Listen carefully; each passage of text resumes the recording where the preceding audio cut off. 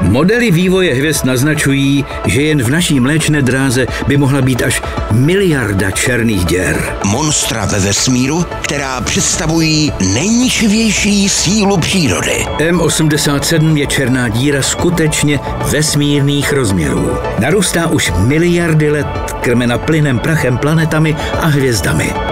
Obří černé díry.